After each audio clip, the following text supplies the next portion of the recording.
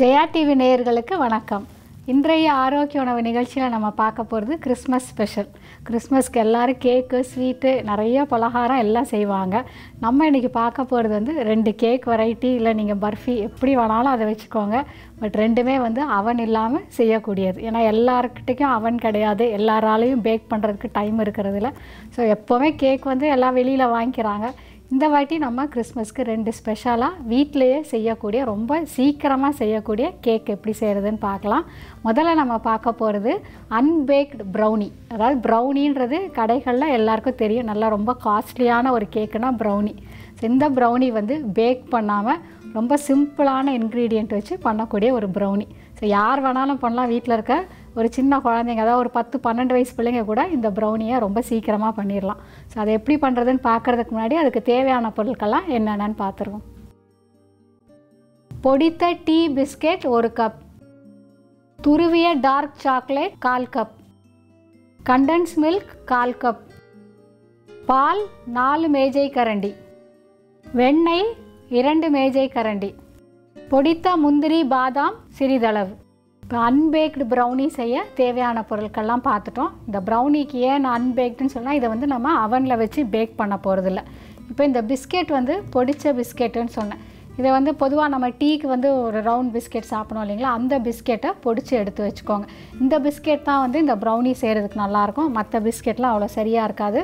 So இந்த tea பிஸ்கெட்டை நல்லா இந்த மாதிரி பொடி பண்ணி வச்சுக்கோங்க. மிக்சியில் போட்டு ரொம்ப மாவாட்டம் பண்ணாதீங்க. கொஞ்சம் குறை குறைன்னு பண்ணி வச்சுக்கோங்க. அடுத்தது பார்த்திங்கன்னா இது டார்க் சாக்லேட் இந்த நம்ம ஹோம்மேடு சாக்லேட் செய்கிறதுக்கு அந்த பார் வந்து இப்போ எல்லா கடைகள்லையும் கிடைக்குது. ஒரு பெரிய சூப்பர் மார்க்கெட்டுக்கு போனீங்கன்னா உங்களுக்கு வந்து dark chocolate white chocolate milk compound அப்படின்னு நிறைய வெரைட்டிஸில் கிடைக்கும். ஸோ அந்த டார்க் சாக்லேட் எடுத்துக்கோங்க. அதை எடுத்து நல்லா துருவி இந்த மாதிரி வச்சுக்கோங்க. இப்போ இந்த சாக்லேட் வச்சு தான் நம்ம இந்த ப்ரௌனி பண்ண போகிறோம் இப்போ இந்த சாக்லேட்டை மெல்ட் பண்ணுறதுக்கு நல்லா ஒரு பாத்திரத்தில் கீழே தண்ணி வச்சுக்கோங்க. அந்த தண்ணி நல்லா சூடாகி இப்போ நம்ம மேலே போட்டிருக்க இதில் வந்து இந்த சாக்லேட் துருவலை போட போகிறோம்.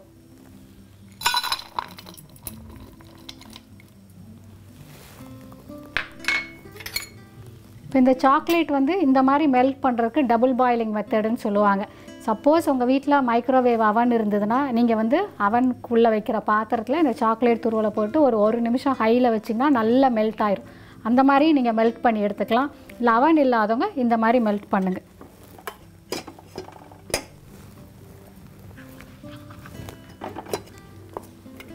பாருங்கள் நல்லா அந்த கீழே தண்ணி சூடாகி மேலே பாத்திரத்தில் பட்டோன்னே இது நல்லா மெல்ட் ஆகும் அப்படியே.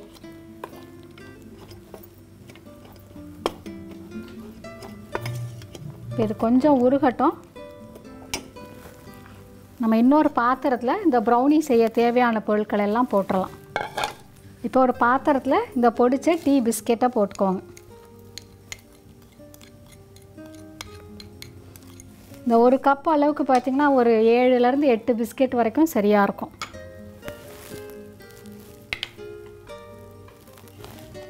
அது கூட கொஞ்சம் கண்டன்ஸ் மில்க்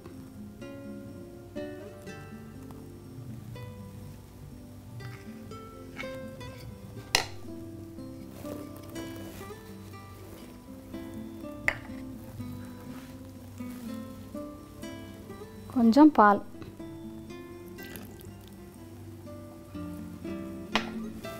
இதை நல்லா முதல்ல கலந்துக்கோங்க.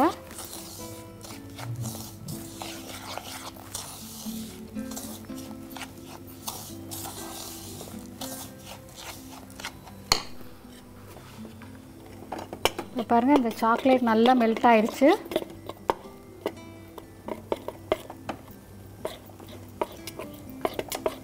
இப்போ அடுப்பை அணைச்சிடலாம்.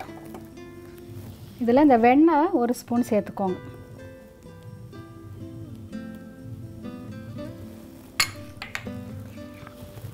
சேர்த்துட்டு அதையும் நல்லா மெல்ட் பண்ணிக்கோங்க.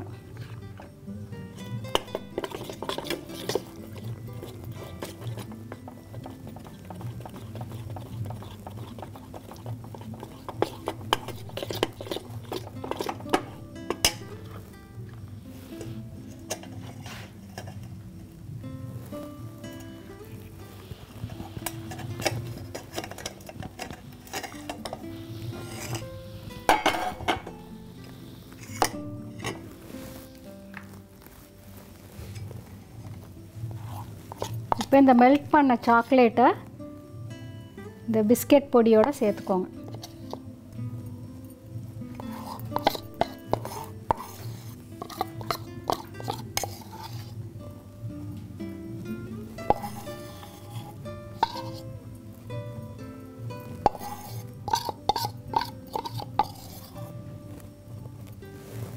இதை நல்லா கலந்துக்கோங்க இப்போ. உங்களுக்கு ப்ரௌனினாலே எல்லாருக்கும் தெரியும் நல்லா டார்க் ப்ரௌனில் இருக்கும். ஸோ அதுக்காக தான் இதில் நம்ம இந்த டார்க் சாக்லேட் சேர்த்துருக்கோம்.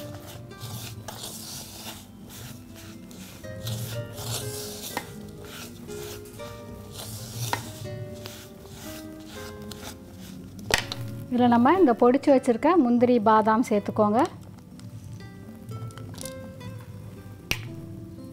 இன்னும் கொஞ்சம் பால் சேர்த்துக்கோங்க.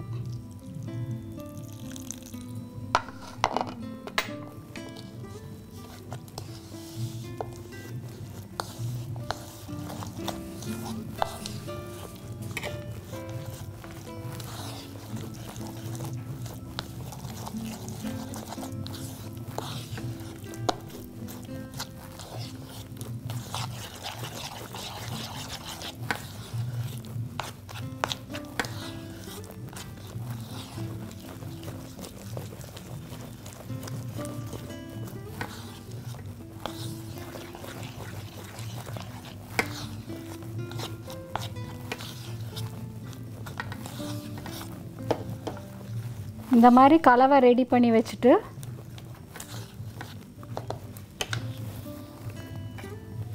நல்ல ஒரு தட்டில் கொஞ்சம் வெண்ணெய் தடவி ரெடியாக வச்சுக்கோங்க.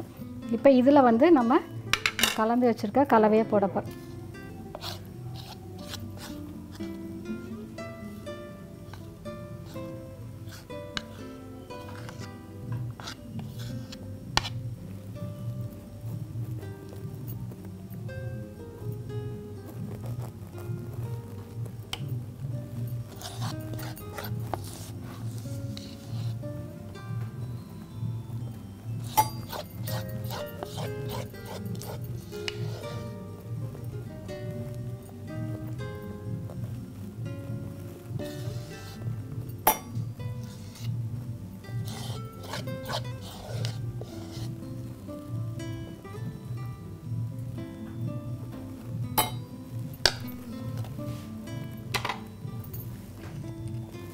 இது மேலே இன்னும் கொஞ்சம் முந்திரி பாதாம் போட்டுக்கோங்க.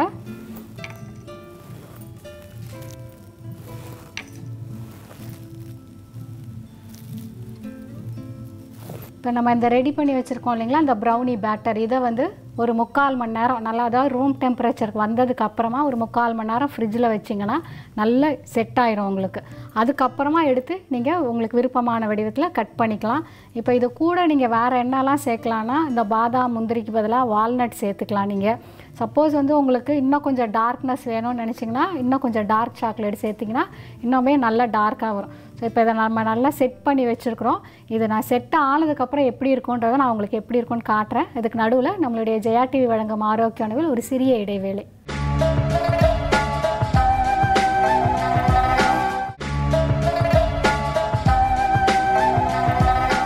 Welcome back to Jaya TV வழங்கும் ஆரோக்கிய உணவு பிரேக்குக்கு முன்னாடி நம்ம ப்ரௌனி பேட்டரை நல்லா ஒரு வெண்ணெய் தடவனை தட்டில் கொட்டி வச்சோம். இப்போ அது ஒரு முக்கால் மணி நேரமாக அது ஆகணும். நான் ஏற்கனவே செஞ்சு கொண்டு வந்திருக்கேன். இங்கே பாருங்கள் இந்த மாதிரி தான் இருக்கும் உங்களுக்கு. நல்லா செட் ஆயிரும். நீங்கள் ஃப்ரிட்ஜில் வச்சு எடுத்திங்கனாலே நல்லா செட் ஆயிரும். ஏன்னா நம்ம அந்த பிஸ்கெட் போட்டிருக்கிறதுனால அது ரொம்ப சீக்கிரமாக இறுகிறோம் உங்களுக்கு கடையில் வாங்குகிற ப்ரௌனி மாதிரியே இருக்கும். பொதுவாக எல்லா கடையிலையும் பார்த்தீங்கன்னா ப்ரௌனி தான் ரொம்ப காஸ்ட்லியாக சொல்லுவாங்க. இதில் வந்து எக்கு கிடையாது. ஒரு எந்த ஒரு பேக்கிங் பவுடர் அதெல்லாம் எதுவுமே கிடையாது. நம்ம அவன் இல்லாமல் ரொம்ப சீக்கிரமாக சட்டுன்னு பண்ணிடலாம் இது. எப்போ வேணாலும் பண்ணலாம் இது நீங்கள் பிஸ்கெட் மட்டும் வச்சுருந்தீங்கன்னா போதும். இந்த சாக்லேட் சப்போஸ் இந்த சாக்லேட் உங்கள் வீட்டில் இல்லை அப்படின்னா கொக்கோ பவுடர் நீங்கள் யூஸ் பண்ணிக்கலாம். அதுக்கு பதிலாக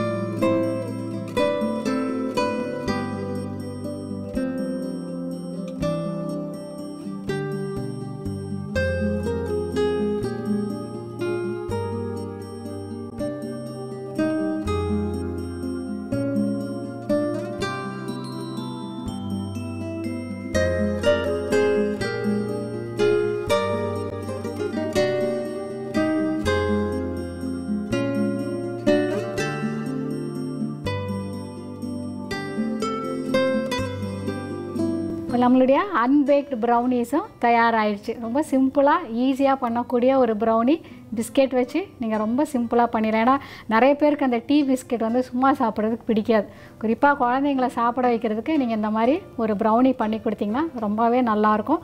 நீங்கள் இதில் வந்து நல்ல வால்நட் சேர்த்துக்கலாம் இல்லை பாதாம் சேர்த்துக்கலாம் இல்லை பிஸ்தா எந்த நட்ஸ் உங்களுக்கு விருப்பமாக இருக்குதோ அது எதுனாலும் நீங்கள் சேர்த்து பண்ணலாம். ஸோ இப்போ நம்ம அடுத்து பார்க்க போகிறது பார்த்திங்கன்னா சத்து மாவு.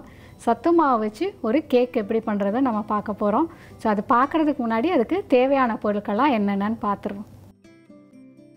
சத்து மாவு ஒரு கப்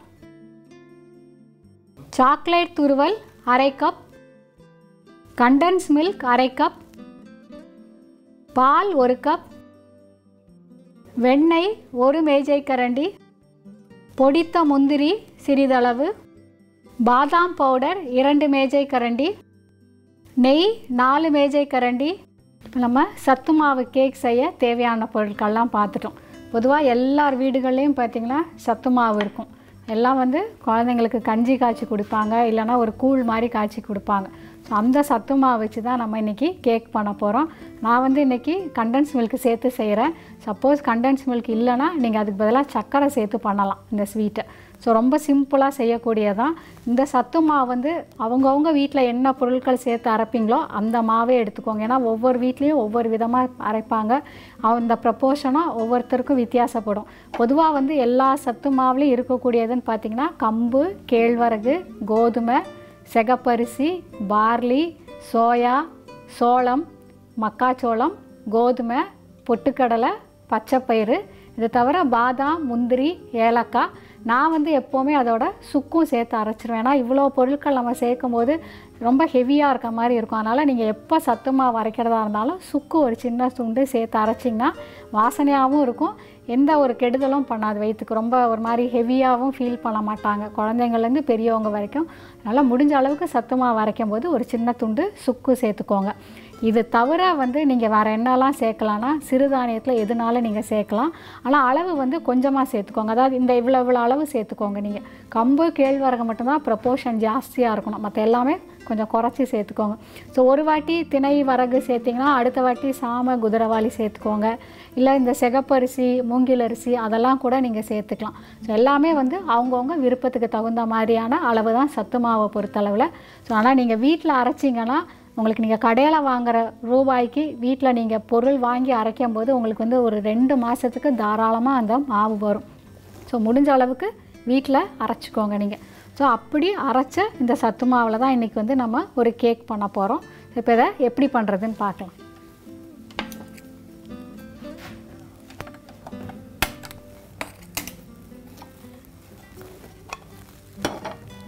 இப்போ அடுப்பு ஆன் பண்ணிவிட்டு ஒரு கனமான வானலி வச்சுக்கோங்க. அதில் கொஞ்சம் நெய் சேர்த்துக்கோங்க முதல்ல.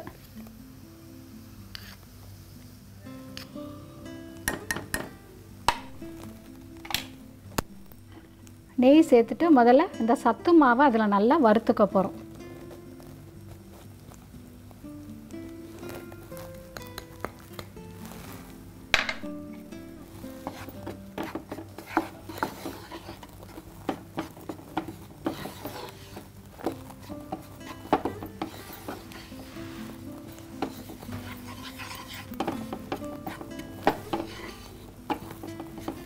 சத்து மாவு அரைக்கும் போதே ஏலக்காயெல்லாம் சேர்க்குறதுனால இதுக்கு தனியாக நீங்கள் வேறு ஏதோ ஏலக்காய் பவுடர்லாம் வாசனைக்கு சேர்க்கணுன்னு அவசியமே இல்லைங்க. இதுவே போதும் உங்களுக்கு. இந்த கேக் பண்ணுறதுக்கு இன்ஸ்பிரேஷன்னு பார்த்தீங்கன்னா நார்த்தில் வந்து குறிப்பாக கோவில் அதாவது சீக்கியர்களோட கோவிலெல்லாம் வந்து கோதுமையில் ஒரு அல்வா தருவாங்க. கடா பிரசாத் அப்படின்னு சொல்லிட்டு இந்த கோதுமையை நல்லா நெய்யில் வறுத்து சர்க்கரை சேர்த்து ஒரு அல்வா பண்ணுவாங்க. ஸோ அதை பேஸாக வச்சுட்டு தான் நான் வந்து இந்த சத்து மாவில் ட்ரை பண்ணேன். கொஞ்சம் வந்து நான் கொஞ்சம் நிறைய சாக்லேட்லாம் இதில் சேர்த்துருக்கேன். அவங்க வந்து வெறும் கோதுமை மாவு சர்க்கரை கொஞ்சம் ஏலக்காய் பவுடர் மட்டும்தான் சேர்ப்பாங்க. சேர்த்து பண்ணுற பிரசாதம் இது. ரொம்ப ஃபேமஸ் அது உங்களுக்கு. நீங்கள் எந்த ஒரு சீக்கியர்களோட கோவிலுக்கு போனாலும் கண்டிப்பாக உங்களுக்கு வந்து அந்த பிரசாதம் தருவாங்க. இப்போ இதை நல்லா வறுத்தாச்சு.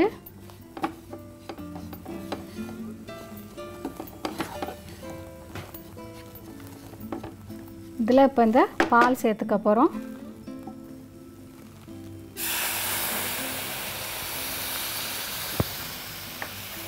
பார்த்திங்கன்னா இந்த வெண்ணெய். வெண்ணெய் எதுக்காகனா ஒரு நல்ல ஒரு பளபளப்பு தன்மையை கொடுக்கும் உங்களோட கேக்குக்கு. அதுக்காக தான் வெண்ணெய்.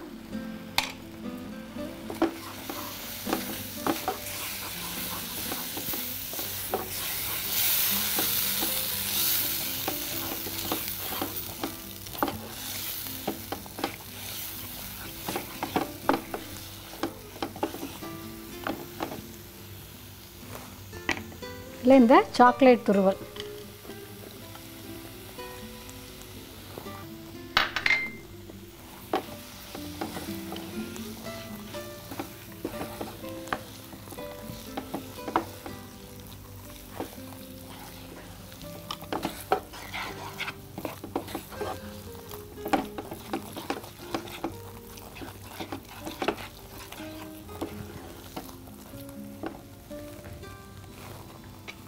கொஞ்சம் கண்டன்ஸ் மில்க்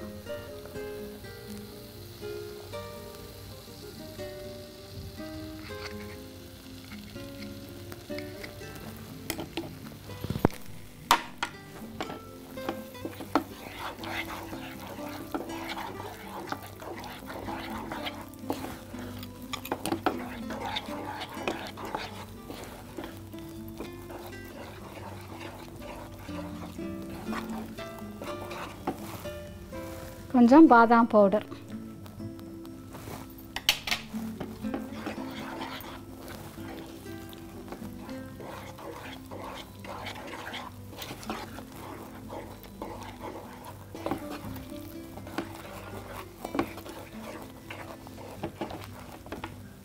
கொஞ்சம் பொடித்த முந்திரி.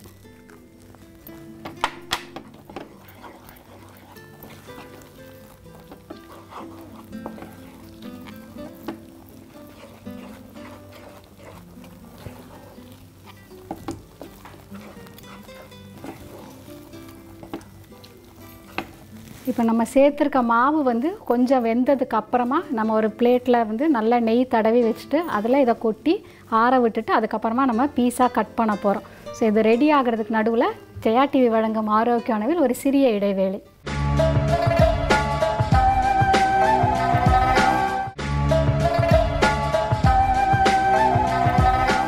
Welcome back to Jaya TV வழங்கும் ஆரோக்கிய உணவு. பாருங்கள் நம்மளுடைய பர்ஃபி அதாவது கேக்குக்கு நல்ல மாவு சுருண்டு வந்துருச்சு. உங்களுக்கு இதை பார்த்தா கண்டிப்பாக குழந்தைங்க இது சத்து மாவுனா நம்ப மாட்டாங்க. நல்லா கலந்துக்கோங்க. கொஞ்சமாக இன்னும் கொஞ்சோண்டு நெய்.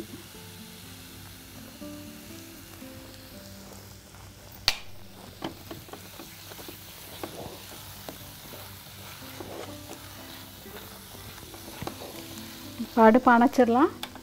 இது மாதிரி ஒரு நல்ல தட்டில் வெண்ணெயாவது நெய்யாவது தடவி ரெடியாக வச்சுக்கோங்க.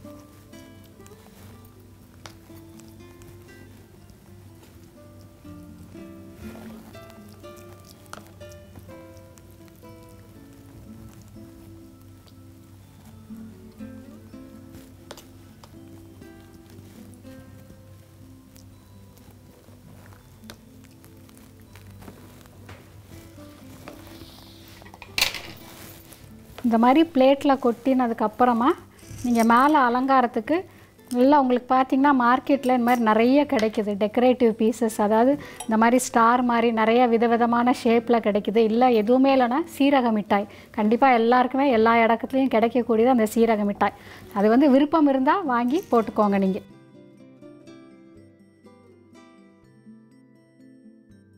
இப்போ இந்த மாதிரி மேலே அலங்காரத்துக்கு எது உங்களுக்கு விருப்பமோ அதை நீங்கள் நல்லா தூவிட்டு அப்படியே நல்லா செட் பண்ணிடுங்க இதுவும் நல்ல ரூம் டெம்பரேச்சர் வந்ததுக்கப்புறமா ஃப்ரிட்ஜில் ஒரு ஹாஃப் அன் ஹவர் வச்சிங்கனாலே போதும் உங்களுக்கு.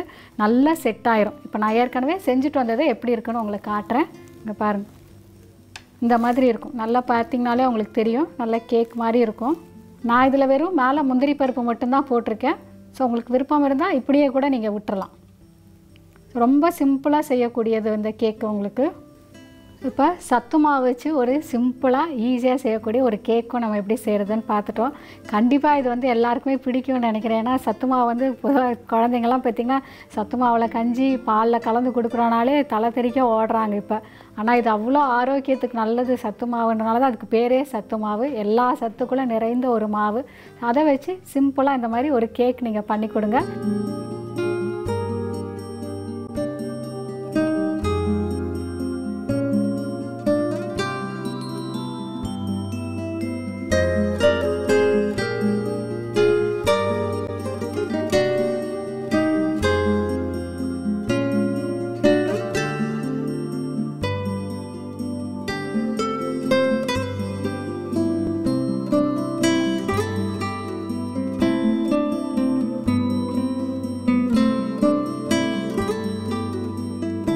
நம்ம வந்து இன்றைக்கி முதல்ல ப்ரௌனியும் அடுத்து சத்துமாவும் ரெண்டுமே கேக் ஷேப்பில் பார்த்தோம்.